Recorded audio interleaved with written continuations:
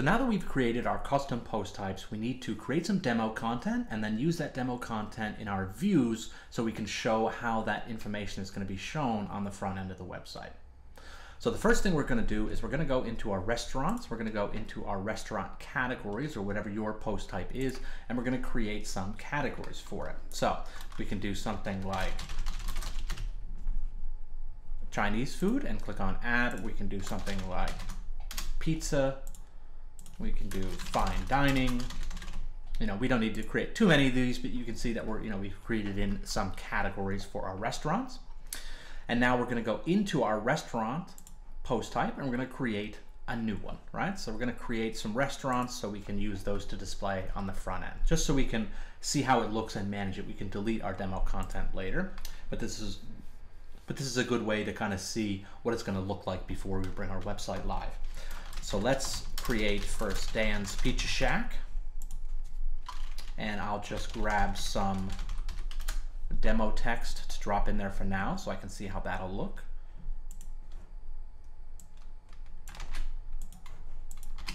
We'll pop that in. And then we'll go down to restaurant phone number and we'll just pop in a phone number. And then we'll pop in an address.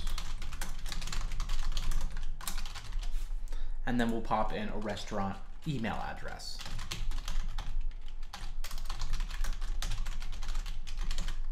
And then Dan's Pizza does deliver, so we're gonna do the checkbox on delivery. And then for our excerpt, we'll just grab a couple lines here and we'll pop that in for our excerpt.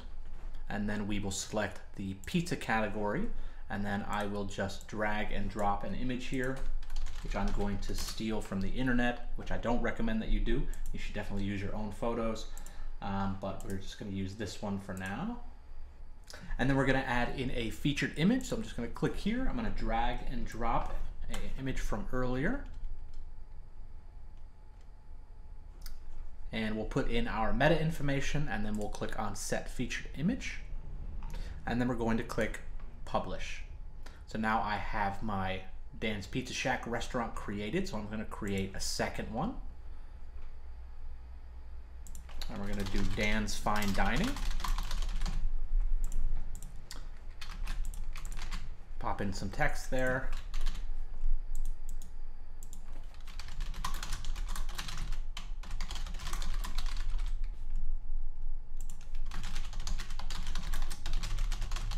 And Dan's Fine Dining does not deliver because we are too fancy for that. We're going to click on Fine Dining under Categories.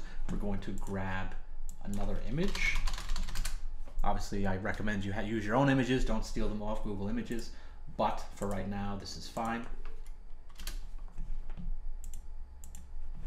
So I'll click on Set Featured Image, and I'll throw my image in there.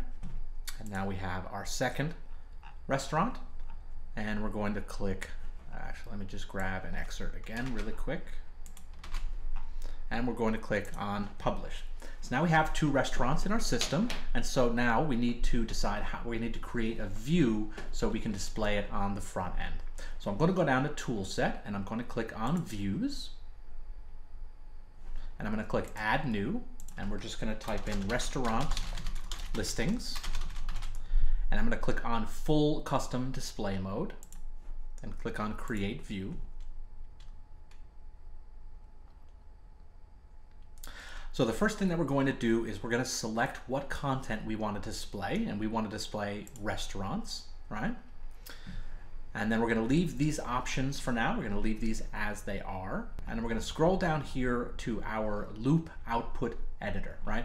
So all these options are for doing different things like filters and such. We're going to add those in later. But for now, we just want to display the items on the front end, right?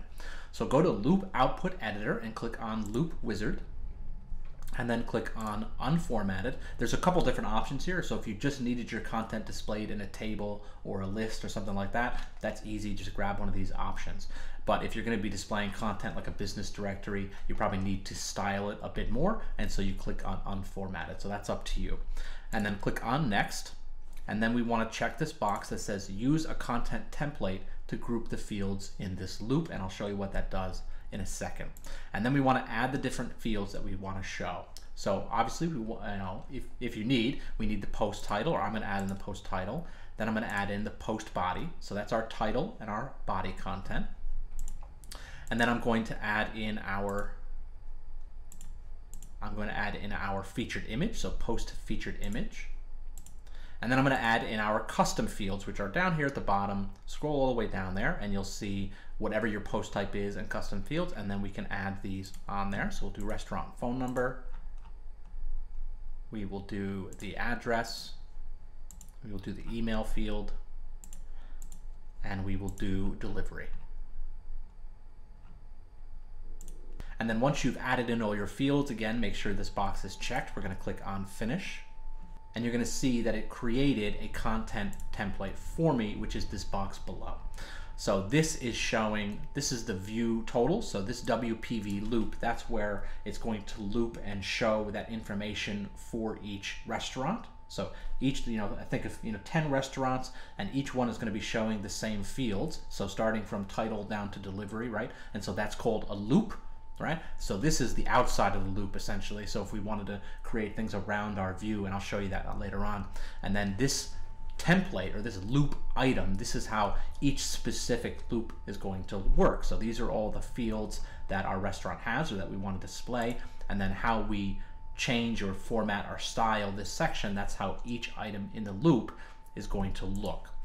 So let's just update for this for now. We're gonna we're gonna mess around with the styling in a second, but let's just keep this how it is for now. Click on Save All Sections, and then we're going to create a new page to insert our view into. Now how you insert views into your page is going to be a little bit dependent on which page builder you're using, but for now we can just do this using the standard WordPress pages and then we can update, it later on when we start creating the front end pages with our page builder. Right. So for now, let's just type in a page. We're going to do restaurant directory. And you'll see this button up here, fields and views. So we'll click on that and we'll scroll down and we'll look for post views and we see the restaurant listings or whatever we called our view. So click on that button. You, there's a couple options here. You can take a look through those, but we're just going to insert the short code. We're going to publish our page. And then we're going to take a look at it on the front end. And you can see I have Dan's Fine Dining. I have my photo here, my other information, and then we go into Dan's Pizza Shack. So obviously this looks terrible, um, but we're gonna clean this up a little bit. And then we're gonna, I'm gonna show you later on also when we get into front end page builders, how to really style these pages and add things like columns and stuff like that. But in this set of videos, we're just gonna do very standard uh, or very um, you know minimal styling just to kind of clean it up a little bit. And we'll go more into that during the front end theme sections. And I'll create some optional tutorials as well to really get into it. But for right now we just want to clean this up a little bit. So we're going to go over to Toolset we're going to click on views again. We're going to edit our restaurant listings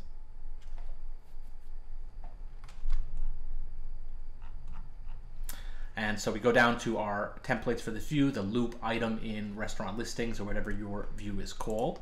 So let's just style this a little bit. So we'll do a headline, which is H1. And then we're gonna have our body content. So we'll just create a paragraph for that.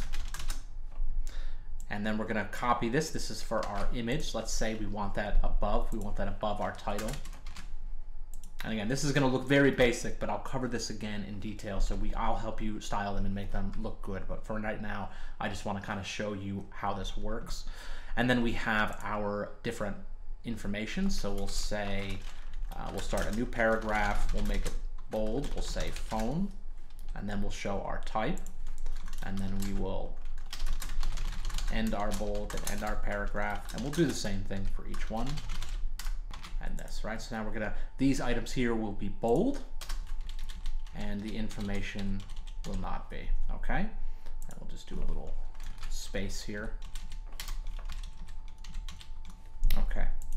So this is just some basic styling. It's still gonna look pretty bad, but you'll get an idea of how if we style this around these tags, so these short codes here represent each different field. So if we style around those, it will apply. So now if I refresh my page here, you can see that's a tiny bit better. We have our image, we have our heading, we have our body content, and we have our phone address, email, and delivery. So it looks like I made a little mistake here, so I'm just gonna go back into my view, look at my phone number field and you can see I have an extra bracket there. I'll save that.